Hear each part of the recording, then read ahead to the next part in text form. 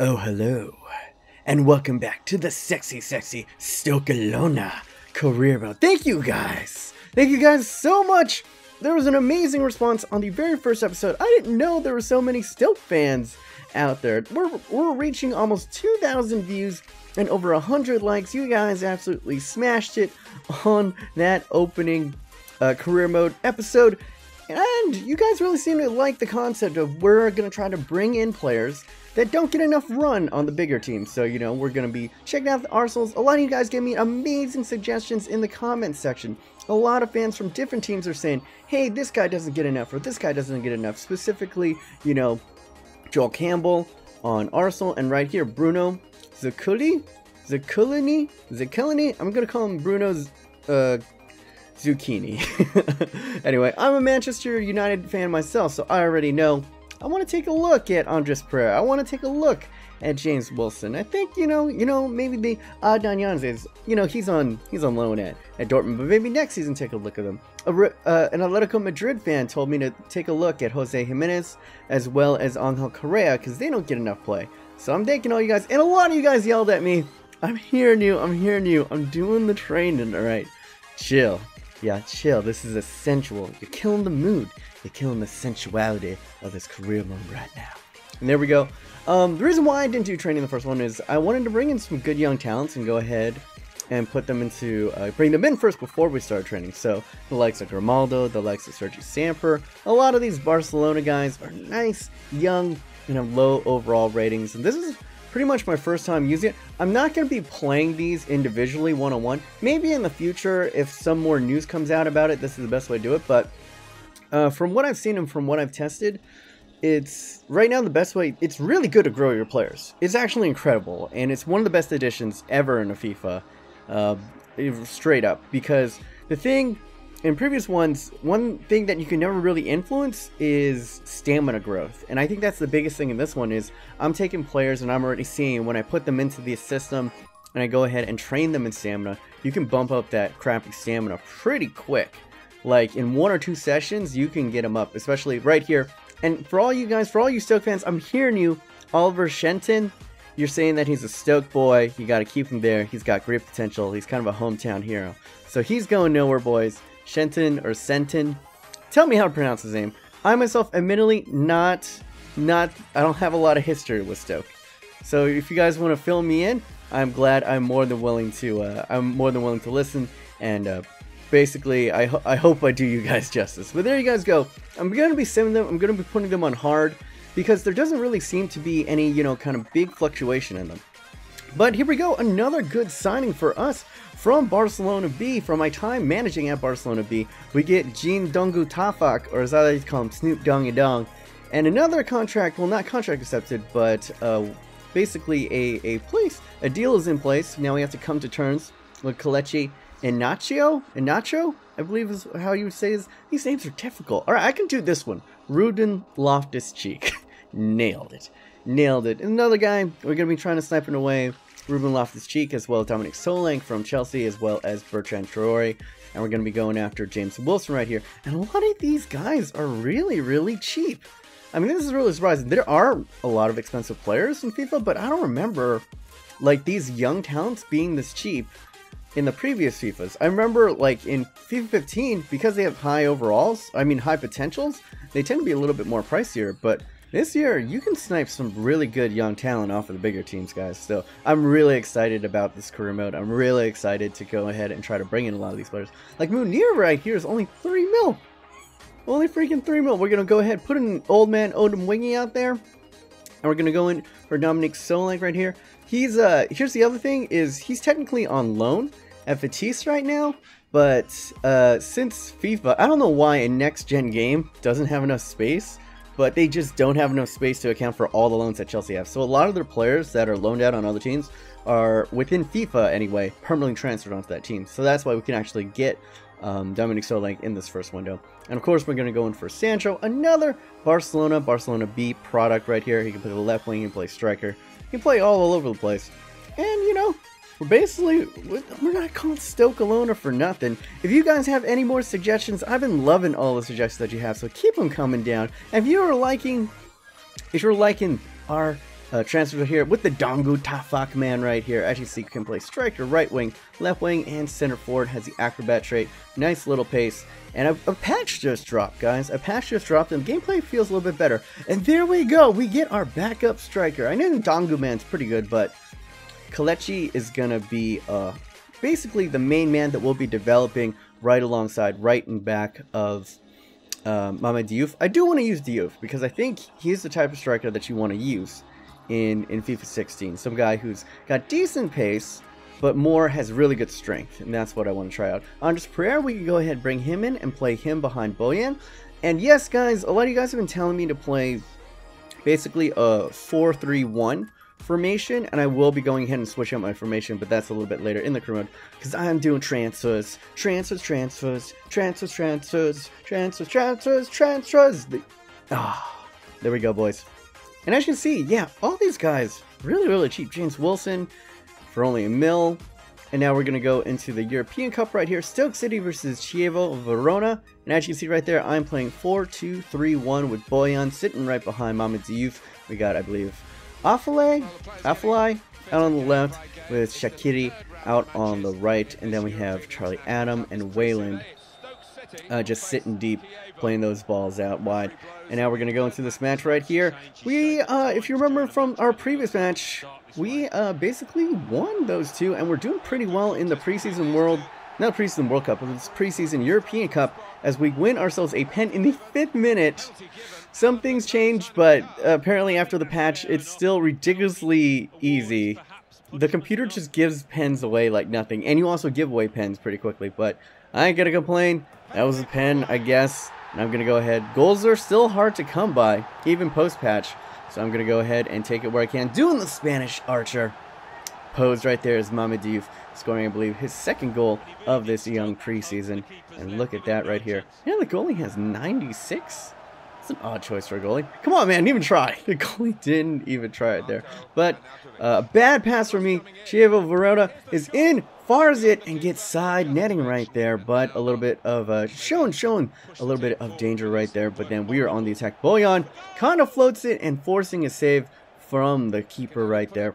We would go ahead and earn, earn ourselves a corner, and now we're back on the attack. Bojan, what does he do? He feeds Diouf! And that's another thing right there. If you see that, like, you can kind of fall away and hit uh, hit shots this year, and it actually will get on target. So, might be seeing some ridiculous goals this year.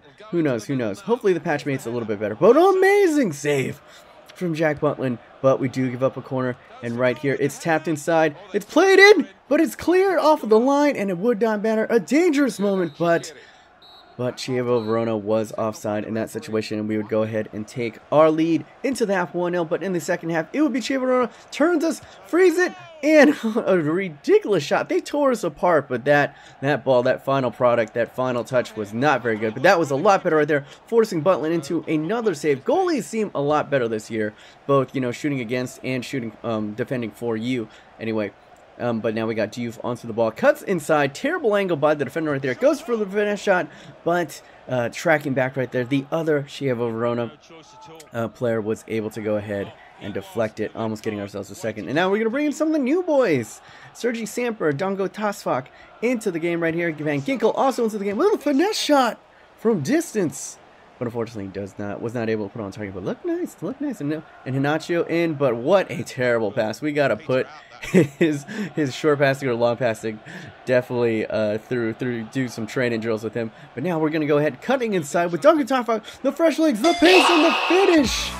And there we go, just a kind of a lollipop, just rainbowed it into the goal over the keeper. But there you guys go. That's what I'm talking about. You got to shooting across the goalie uh, this year, shooting across goal is definitely more OP than than uh, uh, than near post OP was last year. And also, like body like body fans are back, but also all you really need to do. I'm used to like cutting in from the wing by doing a fake shot. The CPU always takes the ball, almost always takes the ball at you when you do that like fake shot.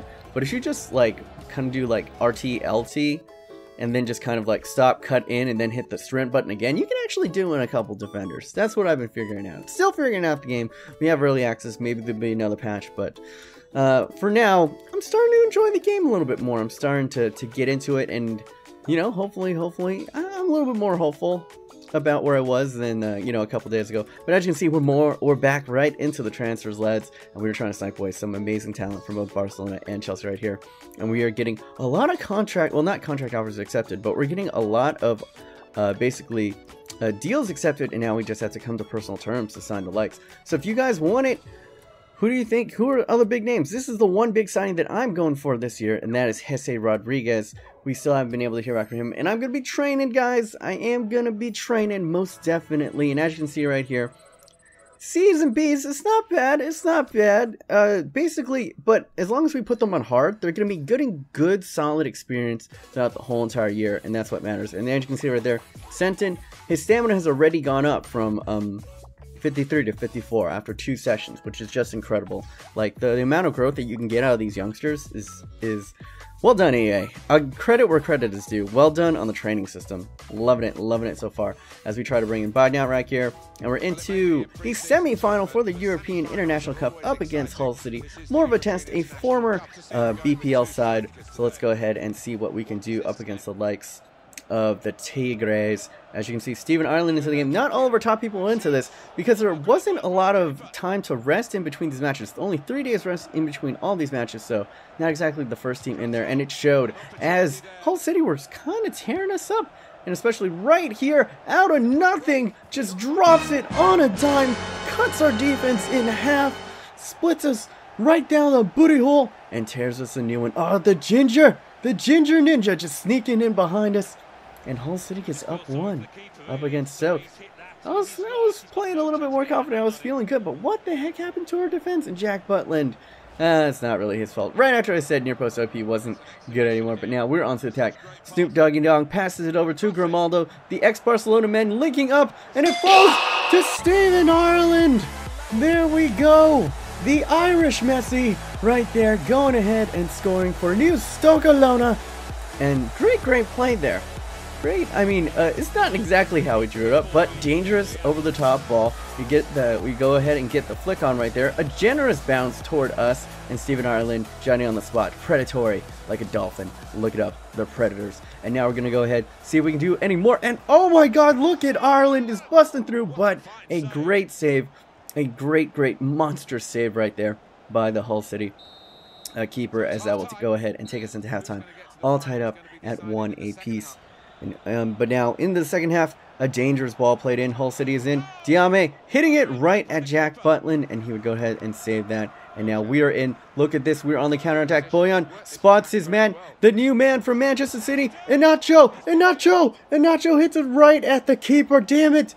Ah, no nachos for us tonight. No nachos for us as we're going to go ahead and settle this and see who moves on with a penalty shoot out. Charlie Adam steps up top right.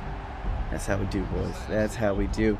Now, Abel Hernandez starting off the bunch. I'm going to be doing the wiggles. I'm going to be doing the drops. And Abel Hernandez pings it off the post. No good.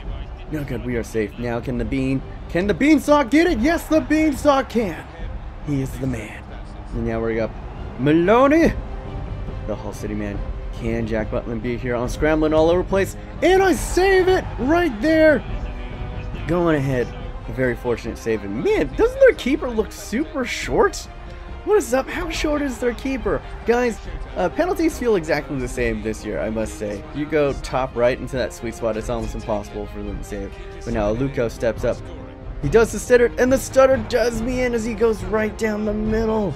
The mind games are real, but we still have a two a two goal lead right here. Bojan steps up. Can he be the hero? He is! The ex-Barcelona man right here. And this is new, guys. You can see that the camera is shaking as I run to celebrate with my booties, my booties, my buddies. And I'm doing the Sturridge dance. And even the keeper runs up. That was pretty fun. That was pretty fun. I'm not going to lie. But there we go. We get uh, um, Deal accepted for Jesse Rodriguez. Can we be bringing in what a deadly trio we would have right up there if we had freaking uh, a, just just imagine that three going up front. Mama Diouf and then Shaqiri on one side and then Jesse Rodriguez on the other side. Ooh. Ooh, that would be some dirty, filthy, sensual, sexy, sexy Stokelona type stuff. As we go ahead and do bring in Ruben Loftus, um, Ruben Loftus Cheek he he's not the highest rated guy, but he does have very high potential, and we'll see if we can actually raise these players up pretty quickly with the training system. And now we're going to go for a little bit bigger fish, you know, Sergio Roberto, maybe to pair in that midfield, maybe go after Alen Halilovic after his loan, but that would be pretty nice. We could probably get the future, you know, CMs and CDMs of Barcelona right there, and uh, we're going to also go in for Bruno Zucchini, Zucchini right here, as I like to call him, Bruno um, I don't know what I like to call apparently. But Zuculini right here, uh, Manchester City fan said he's really talented and they don't use him enough, and that is pretty much the perfect profile.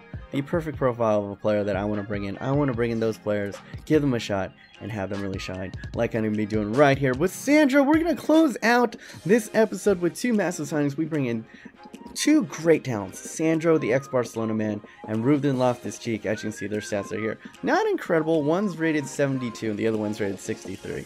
But for now, they're not all that great. But in a couple years down the road, we could really challenge. We could really do some things in the BPL. We could really challenge maybe the likes of Europe. We can really become, I don't know, the Barcelona, or at least Barcelona light of the EPL. And that is going to be pretty much my goal for this career mode as we are just making transfers non-stop. A lot of great transfers in this episode, and there are going to be a lot more great transfers in the next episode. If you did enjoy, go ahead and smash that like button. My name's B Minus. Hopefully you guys are having an incredible day. Remember, stay yourself, stay humble, and beware.